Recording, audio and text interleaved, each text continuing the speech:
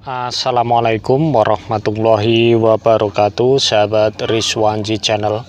Di mana pun sahabat berada Semoga pada kesempatan kali ini Sahabat selalu dalam keadaan sehat walafiat Dimudahkan dalam mencari rezeki dan berkah untuk rezekinya sahabat. Jadi di konten pada siang hari ini saya akan memberikan video lagi untuk sahabat Rizwanji mengenai rumput odot yang bisa dipanen dan ditanam kembali walaupun belum beruas banyak sahabat ya. Jadi di konten kali ini saya akan mengulas tentang rumput odot lagi sahabat. Tapi sebelum itu alangkah baiknya buat sahabat Rizwanji yang kebetulan mengeklik video ini dan belum subscribe silahkan bisa di subscribe dulu channel ini.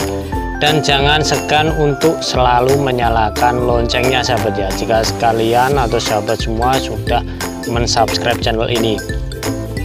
Oke jadi tampak pada video di hadapan kita sahabat ya bahwa rumput ini sudah berumur kurang lebihnya satu bulan sahabat ya. Nah jadi kondisinya seperti ini. Walaupun masih berumur uh, di bawah garis atau di bawah uh, perkiraan untuk dipanen yaitu kurang lebihnya sekitar dua bulanan sahabat ya. Karena ini masih segini sahabat ya. Dan ini sudah bisa kita panen atau kita lakukan pemanenan sahabat ya atau pemotongan terkait dengan rumput ini sendiri yaitu ciri-cirinya sudah memiliki seperti ini sahabat ya. Ini ciri-cirinya sudah uh, mempunyai apa itu namanya tunas yang cukup banyak sahabat ya dan untuk satu rumpun ini sehingga membuat rumput ini sudah layak untuk kita potong. Dan apabila akan kita ambil bibitnya ini sebenarnya sudah atau juga sudah bisa untuk dijadikan atau ditanam kembali sahabat ya. Terkait dengan yang ada di sebelah sini sahabat bisa melihatnya sendiri. Yang seperti ini sahabat ya. Ini kalau kita kupas seperti ini ya.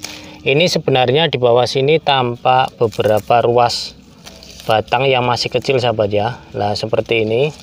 Ya seperti ini sahabat ya. Ruasnya ini sebenarnya sudah ada tapi belum begitu banyak sahabat. Lah seperti ini sahabat ya. Ini akan saya coba. Nah seperti ini sahabat. Ini apabila kita lakukan pemanenan maka kita bisa potong di area sebelah sini sahabat ya yang saya tunjuk ini. Kemudian untuk bagian yang sini bisa kita ambil lagi untuk kita lakukan penanaman kembali seperti yang sudah pernah saya tanam sahabat ya di video sebelumnya. Jadi apabila ada sahabat kita yang bertanya eh, apakah rumput odot yang sekiranya belum beruas banyak itu apakah bisa dipanen di usia muda dan apakah bisa ditanam kembali tentu saja saya jawab atau jawabannya itu bisa sahabat ya. Jadi karena di sini sudah mempunyai ruas tapi belum cukup banyak sahabat ya. Sehingga rumput ini apabila ditanam itu akan bisa tumbuh kembali sahabat. Jadi seperti di video-video saya sebelumnya sahabat ya bahwa saya menanam uh, bibit rumput odot itu langsung saya ambilkan dari bawahnya daun yang seperti ini sahabat ya nah kira-kira seperti ini segini. Itu lalu saya tancapkan dan Alhamdulillah tumbuh sahabat. Jadi seperti ini sahabat ya. Akan saya geser lagi kameranya agak ke sini supaya sahabat lebih tahu tentang rumput yang bisa dipanen ketika waktu masih muda dan bisa ditanam kembali. Nah seperti ini sahabat ya. Ini akan saya kupas nah seperti ini sahabat. Jika rumput sahabat itu sudah mempunyai akar seperti ini seperti ini sahabat ya. Berarti untuk kondisi ruasnya itu sudah kemungkinan sudah keras sahabat ya. Kurang lebihnya seperti ini. Dan ini sudah bisa kita panen untuk rumputnya walaupun tingginya cuma segini sahabat ya. Lah segini. Ini belum ada kira-kira eh, satu meter ini belum ada sahabat ya. Tapi kalau sekitar 40 cm ini sudah ada sahabat. Jadi kurang lebihnya seperti ini sahabatnya nah, ini bisa kita potong di sini dan kita tanam kembali. Oke, jadi untuk informasi kali ini seputar rumput odot yang bisa dipanen di usia muda dan ditanam kembali itu seperti ini sahabat ya.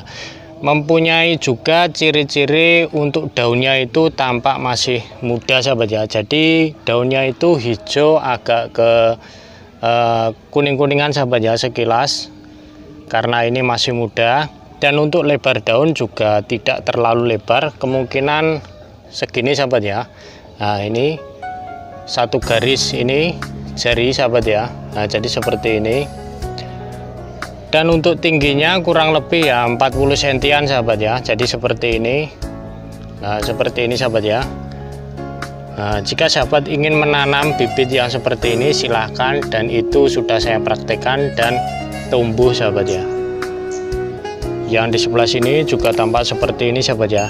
Ini kuning karena habis kebanjiran sahabat. Jadi seperti ini sahabat ya kurang lebihnya untuk video kali ini saya rasa cukup sampai di sini. Apabila nanti ada sahabat yang bertanya silahkan ditulis di kolom komentar di bawah.